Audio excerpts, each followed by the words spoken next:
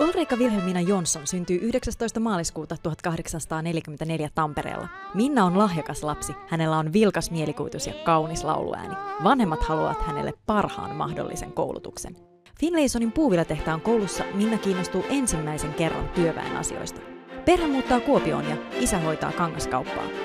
Asiakkaiden tarinat ja mehevä savonmuoto kiehtovat. Nuoruudessaan Minna järjestää ystävineen teatteriesityksiä ja käy tanssiaisissa. Sydämellisellä Minnalla riittää kosioita, mutta hän muuttaa Jyväskylän ja alkaa opiskella opettajaksi.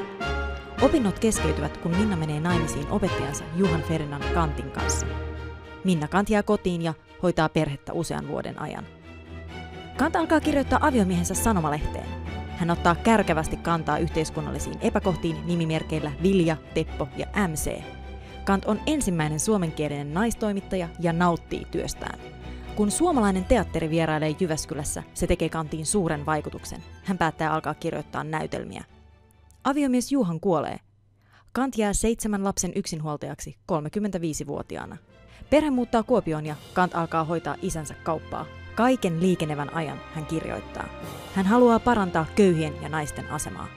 1885 on työmiehen vaimon kantaesitys. Se on ensimmäinen suomalainen realistinen näytelmä. Kantin näytelmät ovat aina tapauksia, joista puhutaan. Kantin kotitalo Kanttila on tärkeä kokoontumispaikka kulttuuriväelle sekä Kuopion naisintelligenssille.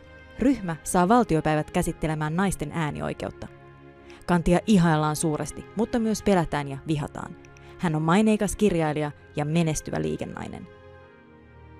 53-vuotiaana Minna Kant kuolee sydänkohtaukseen. 19. maaliskuuta me juhlimme Minna Kantia ja vietämme tasa-arvon päivää.